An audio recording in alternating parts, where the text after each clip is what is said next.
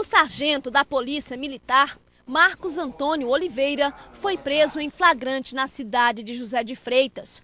Populares denunciaram à polícia que o militar disparou diversos tiros nas proximidades da barragem do Bezerro, em José de Freitas.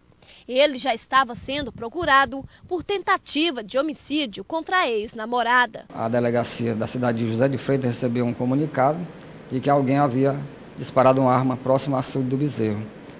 E ela chegando lá, ela fez a prisão do, do, da pessoa que estava disparando, que se tratava do sargento, que havia cometido esse mesmo delito na sexta-feira, o delito contra a mulher. Marcos não aceitou o fim do relacionamento e passou a ameaçar e a estuprar a chefe de cozinha. Segundo ela, sempre ele mantinha relações sexuais com ela à força. Isso é estupro.